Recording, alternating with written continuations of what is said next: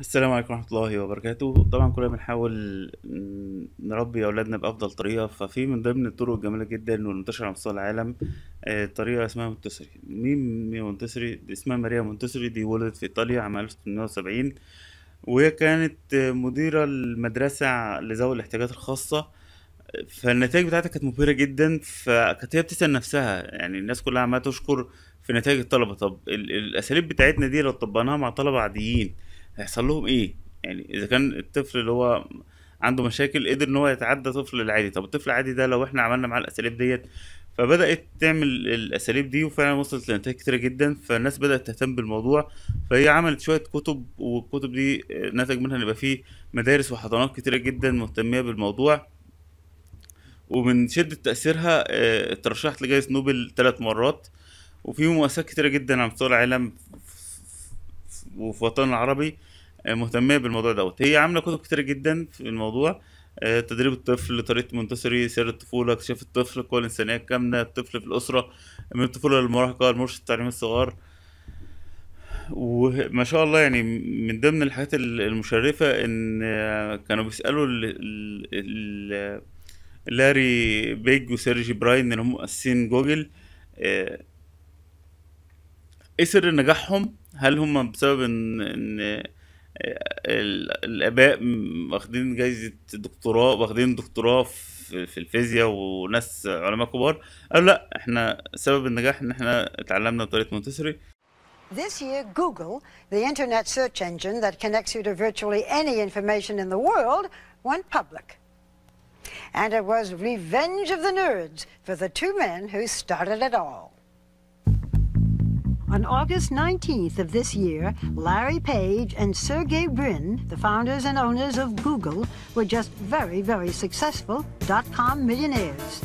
Then Google, the internet search engine that connects you to virtually any information in the world, went public. Google makes its long-awaited debut on Wall Street. The stock soars, a worldwide phenomenon, and that clearly helped it with investors. And they became two of the richest young men in the world, worth over $6 billion each. They met at Stanford and were immediately drawn to one another. We clicked in an interesting way at first. We were, found each other to be greatly uh, obnoxious. Both their fathers are college professors, but the Google guys don't credit their success to drive or brains. They say it was nursery school. We both went to Montessori school. And I think it was part of that training of not following rules and orders and being self motivated, questioning what's going on in the world, doing things a little bit different. With over 100 million users making 250 million searches a day, who knows where Google and the Google guys will take us next. هي طريقة تعليمية تمام ممكن تبقى في البيت ممكن تبقى في الحضانة ممكن تبقى في المدرسة فيها بعض الأفكار الكويسة جدا اللي ممكن تبدأ ت- تنفذها. آه، بتجاوب على أسئلة كتيرة جدا. يعني على سبيل المثال مثلا آه، لو طفلي آه، يعني عمل حاجة غلط أعمل معاه إيه؟ تمام؟ طبعا عندنا تضرب وتزعق هو دي أحسن طريقة وبكده مش هيكرر الموضوع ده تاني لا بيقول لك الضرب والزعيق والتخلف دوت بيعمل طفل نظامي.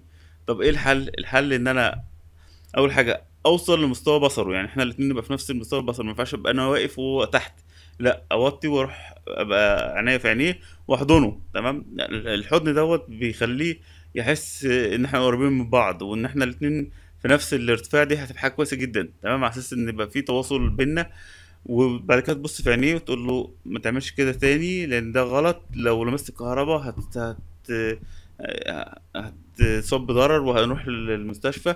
والطبق مثلا الازاز اللي دوت كسرته ده طبق إزاز ممكن يعورك وممكن لما يتكسر آه، تيجي حاجة في إيديك وتعورك فما تعملش كده تاني وتكلمه بالراحة. هيبدأ يستوعب ولو عملها مرة واتنين برضو كلمه بالراحة. بس يعني تاني مرة بص له بصرامة وقول له لأ ما ينفعش وأنا هزعل منك. يعني خلي فيه آه، صرامة شوية تمام؟ يعني دي دي على سبيل المثال تمام؟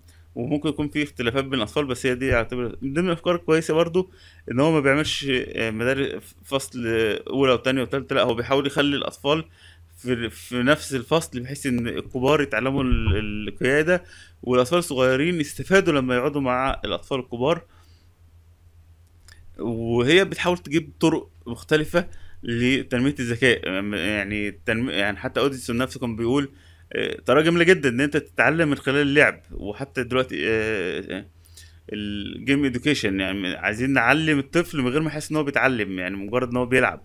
أنت لو خدت طفلك ومشيت معاه وكل ما تشوف حاجة إيه ده يا بابا؟ تقول له دي كذا ده برج ده كذا. لا دي بتتعمل كذا ده عشان كذا ده أسلوب حلو أسلوب وحش. الطفل بيبدأ يتعلم من أول يوم يتولد فيه.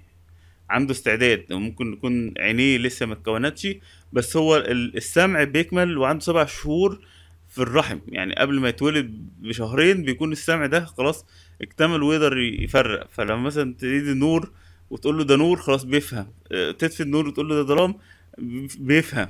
تمام؟ بيقدر يستوعب. فأول ما يبدأ ينطق يبقى هتلاقيه خلاص بلبل معاك في الكلام لأن هو خلاص آه، بيستوعب ال- الكلام دوت. الأطفال شفت أنا تجربة للاطفال اللي عندها ست شهور بيجيبوا مثلا كرة آه، دورية ومستطيل والمستطيل يعمل حاجة غلط يضرب الحاجة ديت وبعد كده التاني يجري فالتاني يضربه فيقول له من الخير والشر آه بيعرف ما شاء الله يعني بالفطرة بيعرف الحاجات ديت. فإحنا لازم نستثمر في الطفل ولازم نشوف حاجات حلوة. في في حاجات ألعاب تعليمية كتيرة ممكن تجيبها وممكن تعملها في البيت. يعني ممكن ألعاب تعليمية كتيرة جدا تعملها تزود ذكاء الطفل وفي نفس الوقت مش هيكلفك ولا شيلين على سبيل المثال مثلا دي لعبة مثلا جايبينها مثلا أول ما أشوفها كده بتاعت إيه دي يعني هي الفكرة كلها إن أنت تقدر تتحكم أو الطفل يقدر يتحكم في إن هو يحرك مثلا شكل في قلب آه، مسار معين تمام؟ فده بيديله آه، مهارة في التحريك مثلا تمام؟ كل بتبدأ تنمي المهارات اللي عنده بالشكل دوت تمام؟ تقدر تعمل حاجات زي كده وممكن مثلا من ضمن الألعاب اللي ممكن تعملها في البيت إن أنت تجيب مثلا مكرونة ماشي؟ بس قبل ما ما تقليهاش وبعد كده تجيبها لأ مكرونة لسه ناشفة وتجيب مثلا خيط وتبدأ تخليه يدخل ال- الخيط في قلب المكرونة بحيث إن أنت تعمله عقد أو تجيبوا عقد تفكوه وت... وت... تلضموه مع بعض مثلا. ده ده هينمي وأي حاجة هو هيعملها بإيديه ده هينمي عنده آه إن هو عنده نجاح عنده ثقة في النفس. فمهم جدا إن هو يعمل أي حاجة يعملها تقول له برافو وتسقف له فده هيديله شجاعة ويعرف إن هو يقدر يعمل ويقدر يشتغل في حاجات حلوة. ففي أفكار حلوة أتمنى إن إحنا نهتم بإن إحنا نقرأ بعض الحاجات نشوف فيديوهات آه، نطلع على الموضوع ممكن تشوف مقالات كده بسيطة تقراها وتطبقها. آه، تشوف ال- ال- الألعاب مش لازم تشتريها لو هي غالية ممكن تعملها أنت في البيت. يعني كلها أفكار بسيطة بس بتخلي الطفل يبدأ يستوعب. تمام؟ يعني مثلا من ضمن ال- الأفكار برضو في في, حكاية ال... أنت بتحكي الطفل قصه ممكن تجيب بعض الصور لأجزاء من القصة وأنت بتحكي له تقول له ما- أول جزء من القصة وبعد كده تقول له الجزء ده موجود في انهي صورة. فيبدأ يفكر مش مجرد بيسمع وخلاص.